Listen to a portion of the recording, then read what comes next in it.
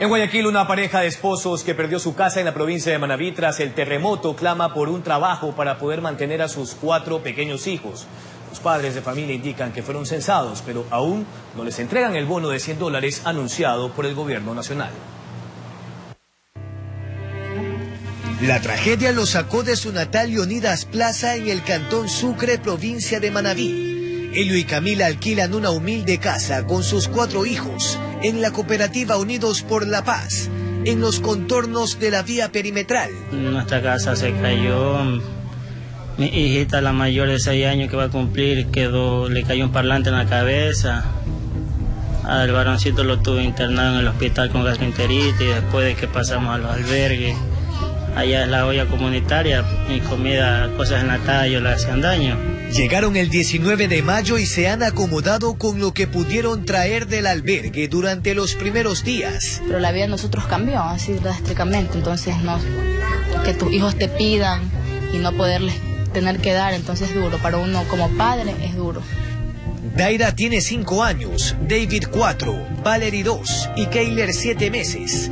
Ellos son la causa de la angustia de ambos porque aunque él es ebanista, no conoce a nadie tampoco la ciudad.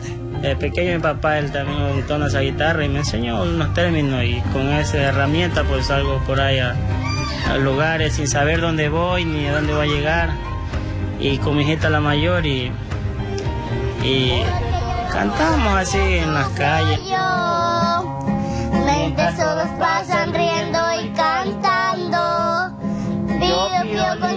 Por amor de ella cuenta que en Bahía se dedicaba a vender tortas de chancho, pero aquí apenas consiguen para la comida.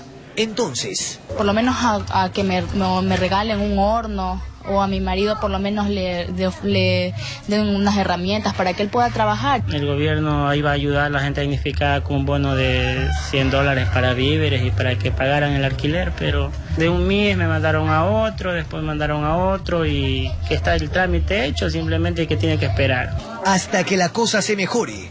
Helio descuelga su único aliento para ponerle el pecho a tanta necesidad con Daira y sus añoranzas. Pienso solo en volver y nunca jamás dejar la bella tierra en que nací es mi felicidad. Informó Jorge Escobar.